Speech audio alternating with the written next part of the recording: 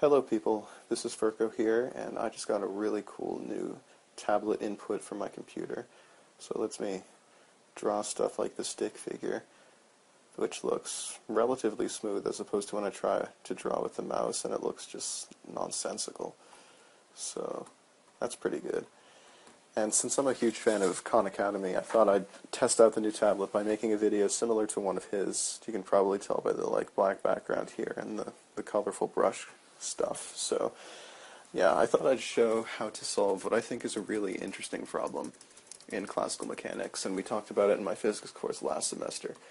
But it's called the capstan problem.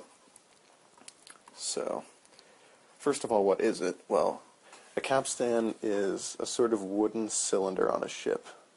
And what they do is they wind a rope around it. So let's say the rope on this side is attached to a mast or something that, that takes a lot of force to hold in place. So there's a large force pulling on this side of the rope, and we'll call that larger force F sub L for F load.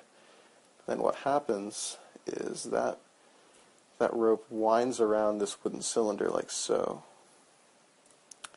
And then over on this side, someone holds onto the rope and they only have to pull onto that rope with a smaller force, FH, for F hold, which is less than F load. And then on this diagram, um, this angle here, which is the angle between the places where the rope touches the cylinder, or the angle subtended by the rope on the cylinder is theta.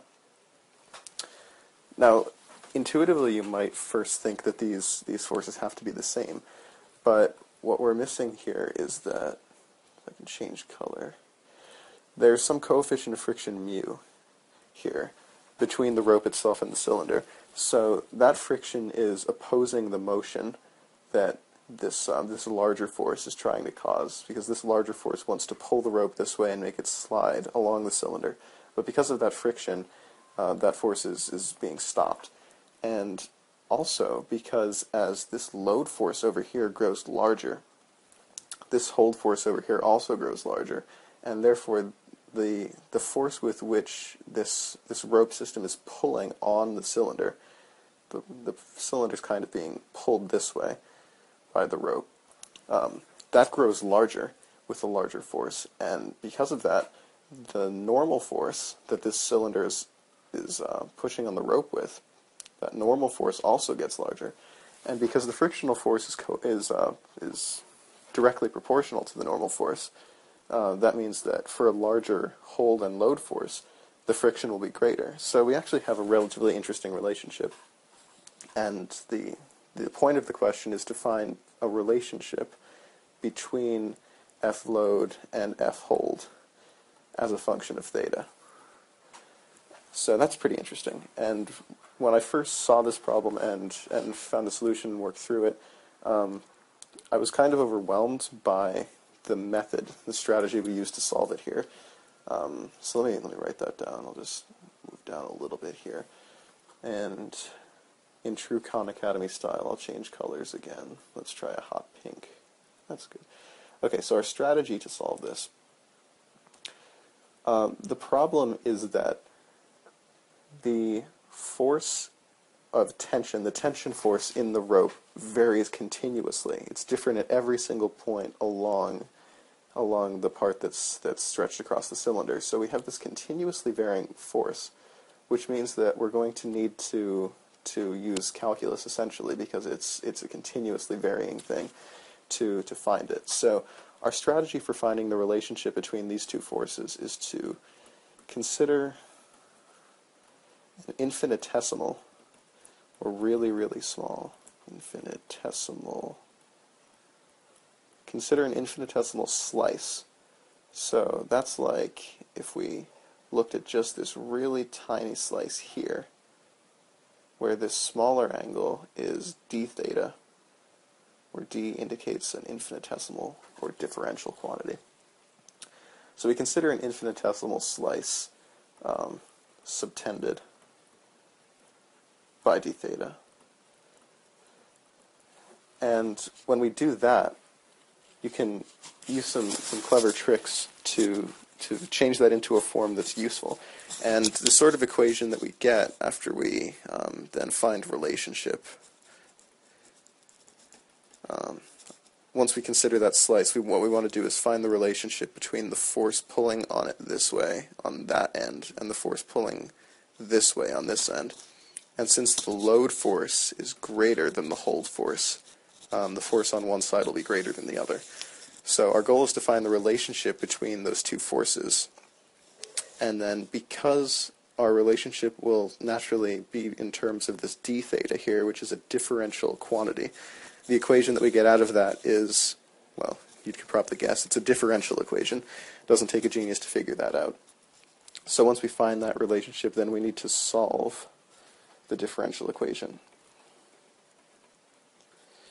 And that will get us our answer. However, the problem I had when tackling this this setup here was that I was not at all comfortable with considering differential quantities like this d theta here, and I hadn't seen uh, that approach to solving problems before. So, in the interest of making it clear to the viewer that hasn't done a lot of calculus-based physics, I want to look at another problem that uses a similar strategy of considering infinitesimals to show how that can be used to approach a problem like this. So if you're already comfortable with that and you don't want to see that alternate problem, you can skip ahead. Um, I'm going to switch to a slide with a green background. And anytime I have the green, that's, that's going to mean that we're doing some sort of review concept. So um, if you don't want to see this, just skip ahead to the part in the video where it's no longer green. But for those of you that are still here, we'll look at this. So um, in this problem instead, we want to consider a bacterial colony. So there's a colony of little bacterial cells here in my petri dish. And those bacterial cells are going to multiply and, and create a larger population over time. So this is the number of bacteria we have at some time t. So we'll make a function p that tells you the population of bacteria at a time t. So that'll be p of t. And then over here, this will be after some amount of time has passed, some of the bacteria have replicated, and we have a larger population.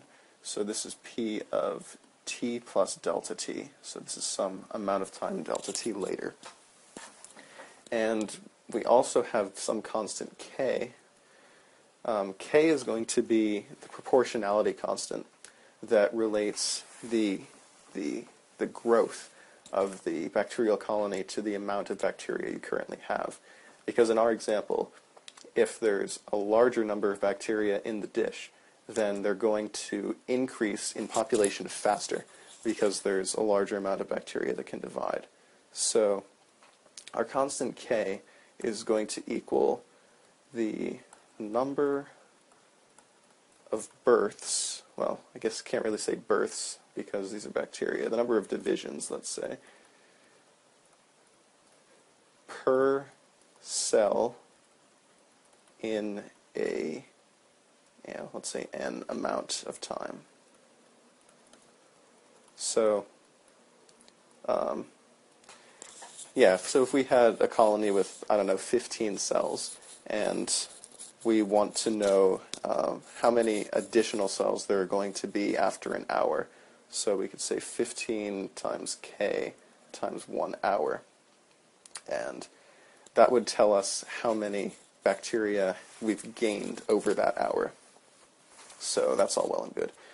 However, because the bacteria are continuously growing, we to find a, a function that tells us how many there are at any given time, we need to to use calculus essentially because if we just keep using this um, this setup here, well, well, the problem is that this setup doesn't take into account the amount of bacteria that were created during that hour. For example, if, um, I don't know, 15 minutes in, we got one new cell, that cell could have divided by the end of the hour, so we're actually missing, uh, we're missing some, some terms here, essentially. So the way that we get around that is by considering an infinitesimal quantity, like we discussed before. So what we want to do is try to find an expression for delta P. And delta P is the change in the bacterial population over a time delta T. So this will be how many new bacteria we have in this time delta t. Or if you prefer, this delta p will be p of t plus delta t minus p of t. And I just noticed that I'm over 10 minutes, so I'm going to if we continue this problem and then hopefully get back to the capstan problem in the next video. So, ciao for now.